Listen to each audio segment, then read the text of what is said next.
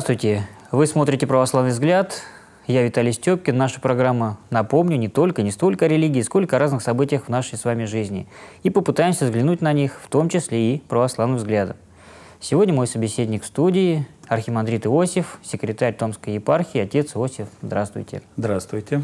Отец Иосиф, грядет праздник, который называется, если лаконично, День России. А церковь вообще считает это праздником? Ну, во-первых, поздравляю всех с этим наступающим праздником. Церковь всегда относилась к гражданским праздникам так, как должны относиться к этому вообще люди церковные. Праздник – это некое событие в жизни, ну, если это день, когда нужно остановиться и задуматься о своей жизни.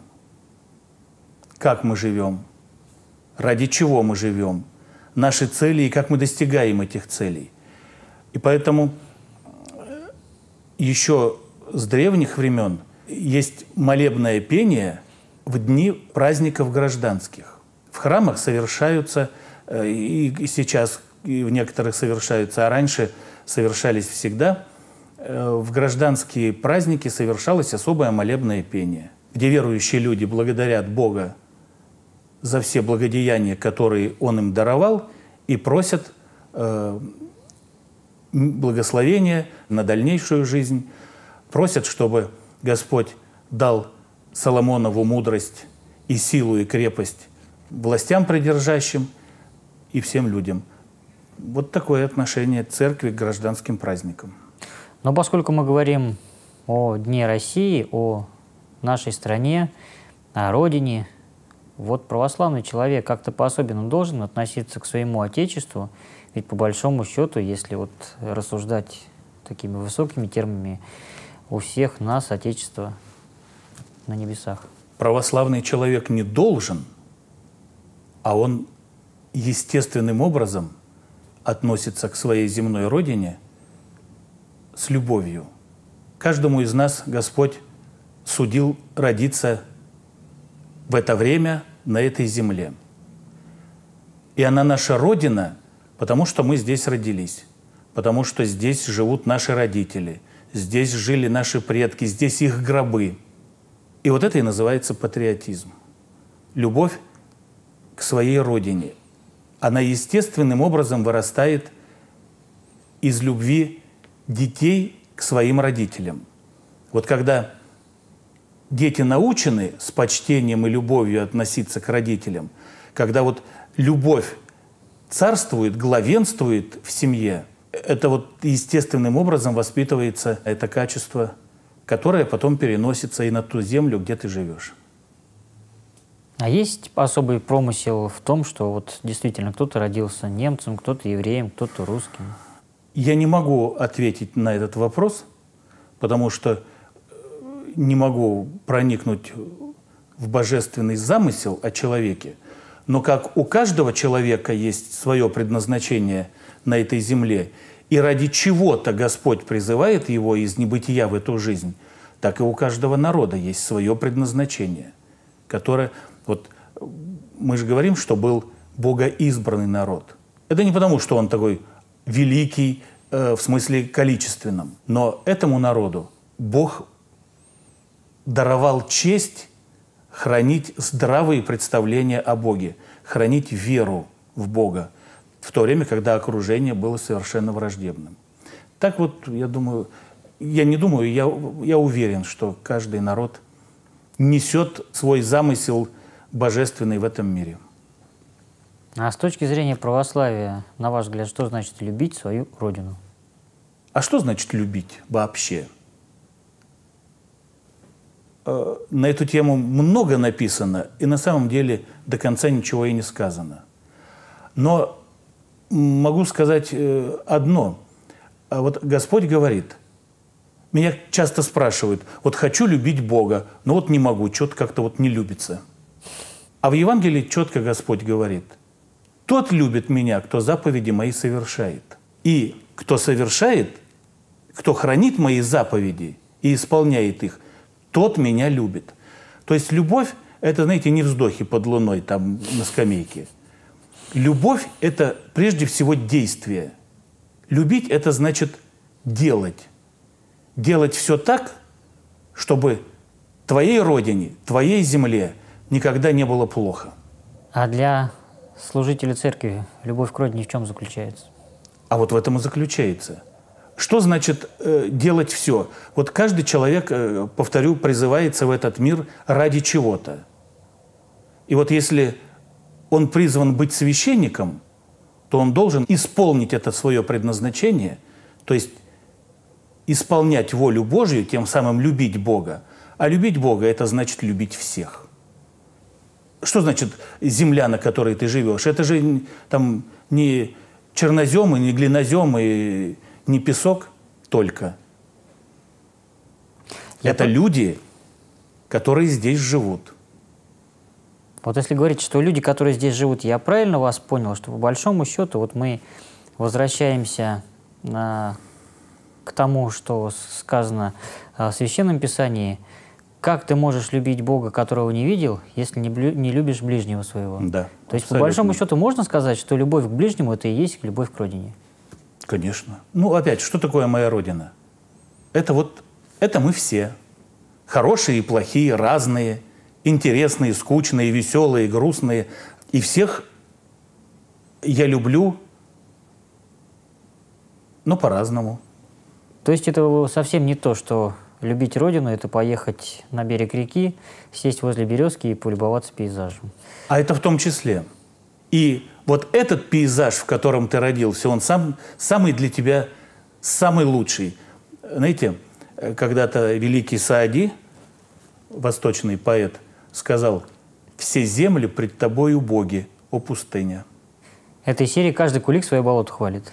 Ну, простовато, но верно. Отец Иосиф, много сейчас споров, наверное, и они никогда не закончатся. Мы все знаем такую фразу, как «Святая Русь». Но при этом мы видим, как э, у нас протестуют против строительства храмов, как э, порой люди поступают. Вы как к этой фразе относитесь «Святая Русь»? Она имеет место быть или это просто фраза, которую придумали ну, вот, для красного словца? Святая Русь – это реальность. К сожалению, не всегда очевидная, если мы выходим на улицу.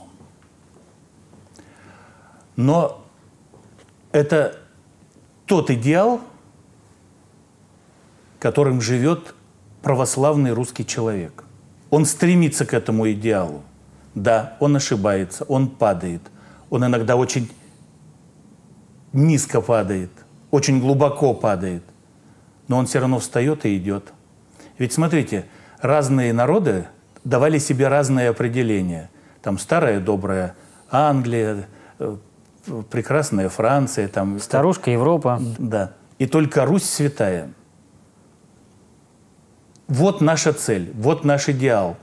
Мы ему не соответствуем? Очень часто да, к сожалению. Но уже то, что у нас есть такой идеал, это уже э, не повод отчаиваться. Все пройдет, мы преодолеем, мы переболеем. Не И этот идеал станет реальностью.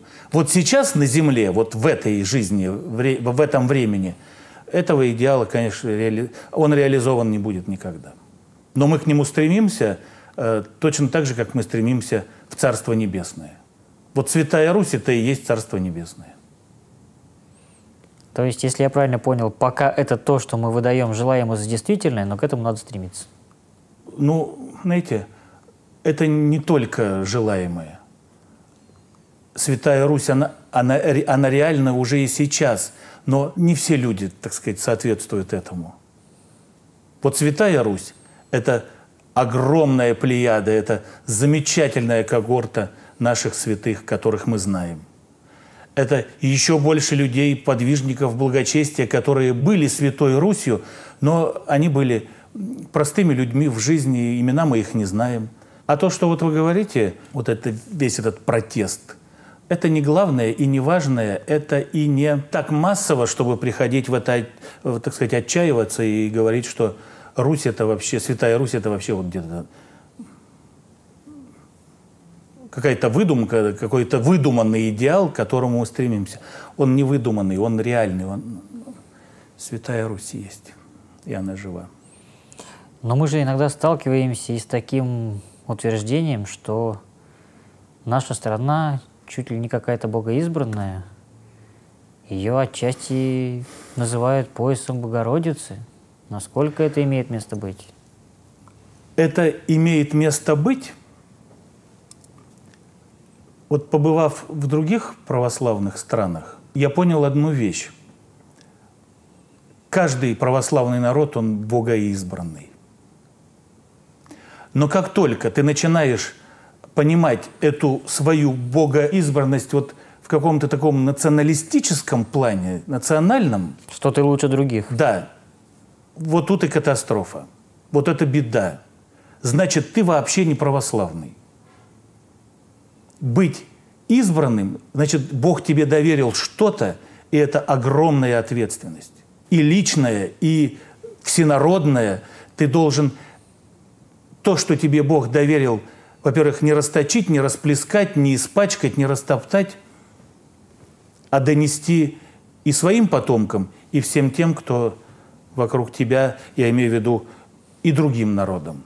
А вот это самолюбование, вот эта спесь такая вот, мы тут вот такие, там третий удел, и, и...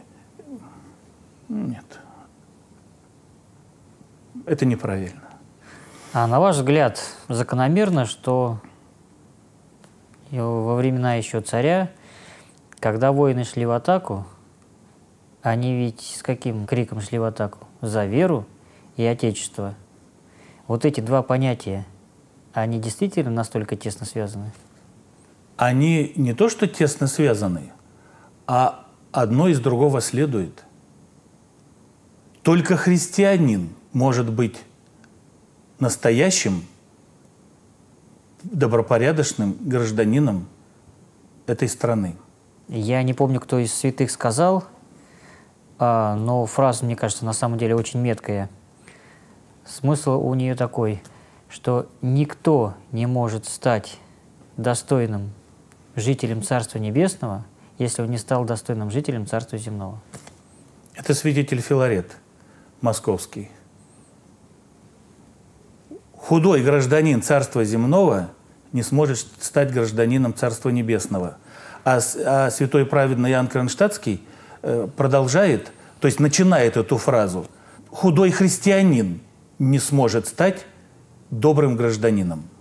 Это не просто великие святые сказали, они просто сформулировали э, опыт жизненный, но это ведь так и есть. Но мы здесь можем действительно еще найти пример тому, Сергий Радонежский, ведь он был монах, но когда речь зашла о том, что Отечество в опасности, он ведь для того, чтобы русское войско вдохновить на подвиг, отдал монахов, которые были ну, действительно глубокими молитвенниками, насколько я знаю. И он их благословил на защиту своей родины. А это, а это что значит?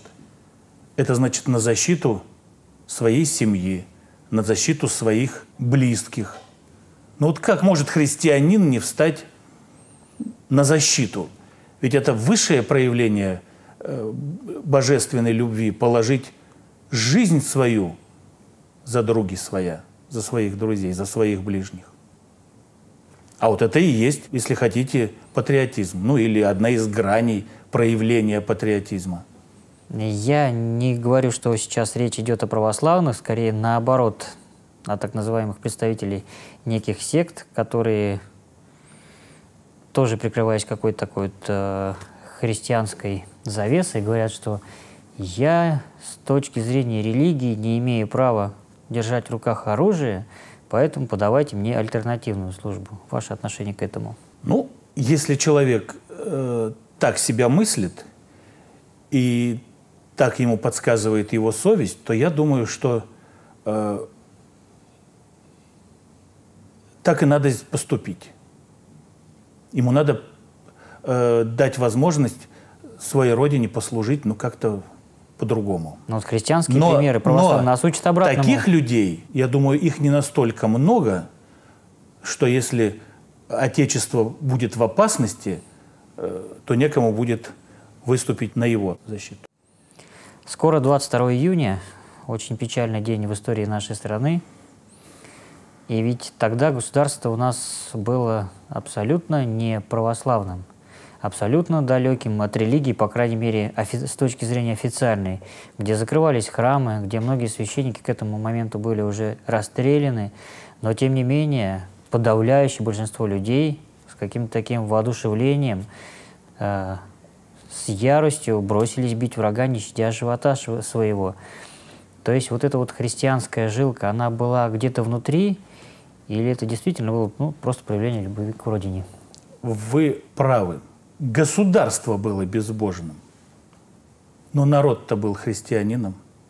И вот эту тысячелетнюю историю христианства – ее никакими гулагами не, не, не выбить, не выжить.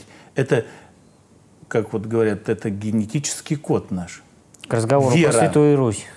Да, да. И когда, может быть, там революционные ветры, вот там, может быть, для кого-то это было э, романтика и ожидание там чего-то э, прекрасного, людей захлестнули, но не всех, далеко не всех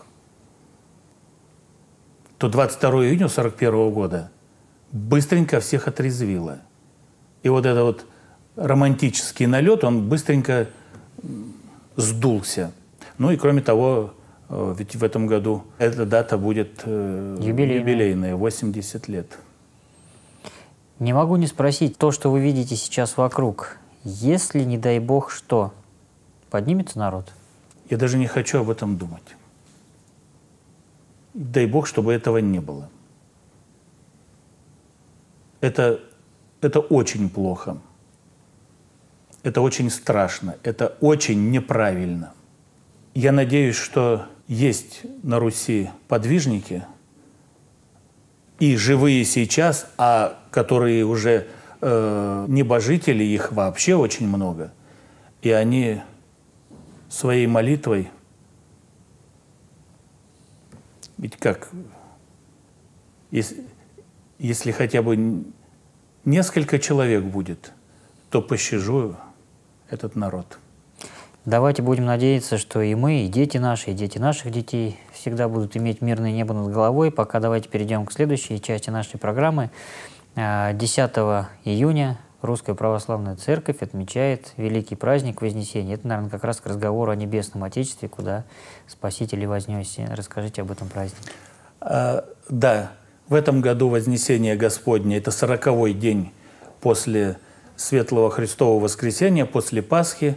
В течение сорока дней воскресший Спаситель э, общался со своими учениками здесь, на земле, э, беседуя с ними – раскрывая им тайны Царства Божия, царства, того царства, которое создано для всех нас, для всех людей. И на сороковой день он благословил их и вознесся на небо. Ну, это небо не, вот, не в материальном смысле, не, вот, не астрономическое такое явление, а он ушел в то бытие, а для нас, так сказать, не бытие, где, где только Бог. Ученики стояли и смотрели на небо, туда, куда вознесся их Спаситель, их счастье, их радость, их надежда. И вот в этом смотрении на небо, это вот и опять пример всем нам – что мы не должны жить только земным. Мы не должны смотреть только на землю, потому что это временно. А это значит, что это скоро приходящее, это исчезнет. И как бы мы не тужились, как бы мы не стремились достичь чего-то земного, это совсем не то, ради чего создан человек.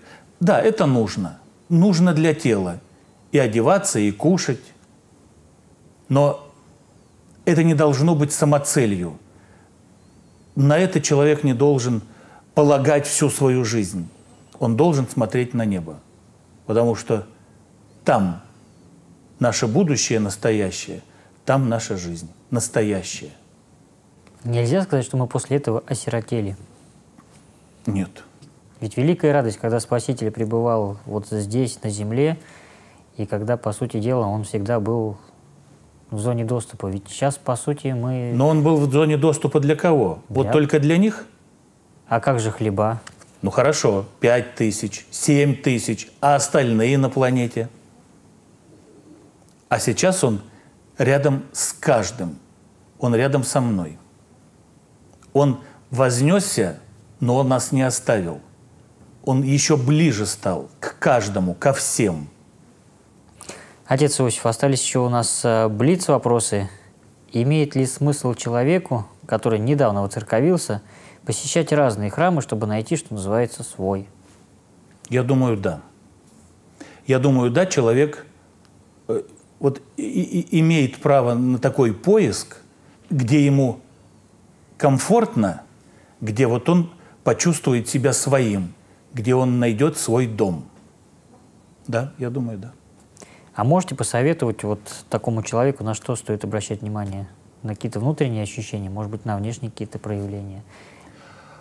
А, Знаете, конечно, первое, что мы, мы воспринимаем все физически, мы воспринимаем глазами, мы слышим что-то. Но э, в конце концов, вот именно то, что мы слышим и видим, мы еще и начинаем чувствовать, что вот Есть же еще так называемое вот- духовное зрение. да, да, вот, вот что-то не то. Я много разговариваю и с томичами, и мне говорят, вот э, я в этот храм хожу, а я в этот.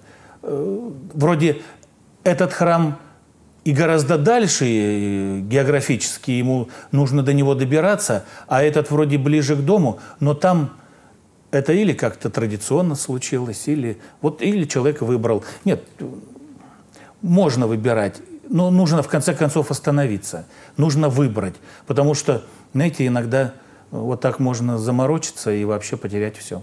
Но тут, наверное, и во многом еще, конечно, играет роль священника в храмах. И священники, и хор, и И намоленность места.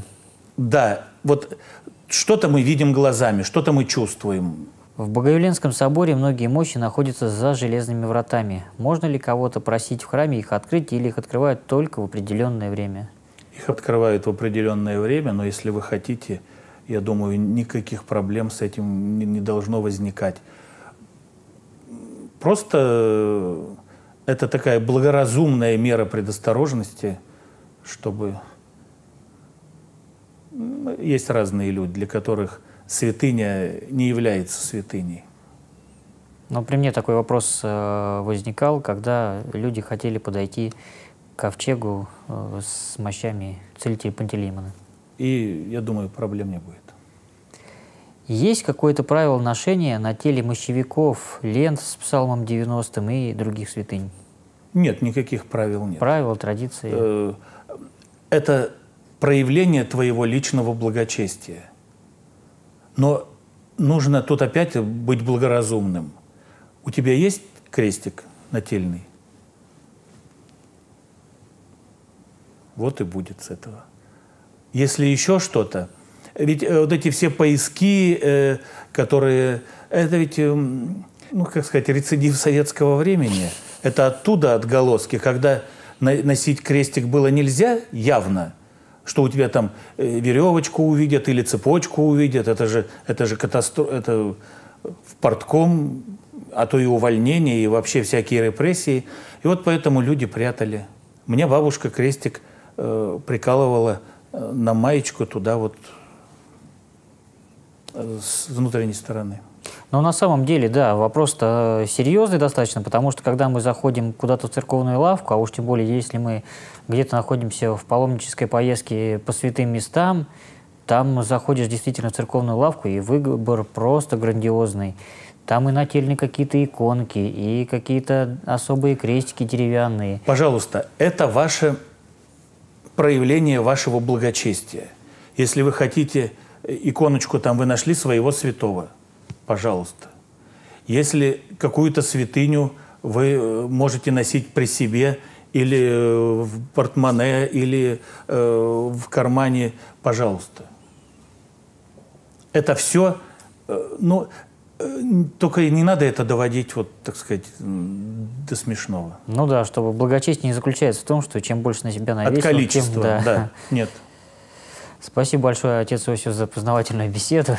Вам спасибо. И спасибо нашим телезрителям. Я напоминаю, что любой из наших телезрителей может прислать вопрос в программу, достаточно написать на адрес православия 70 собака Mail.ru. Также вы можете предложить тему нашей следующей передачи. А я напоминаю, что сегодня моим собеседником был архимандрит Иосиф Еременко, секретарь Томской епархии. На этом наш выпуск завершен. Это была программа «Православный взгляд». Я Виталий Степкин. Еще увидимся. До новых встреч в эфире.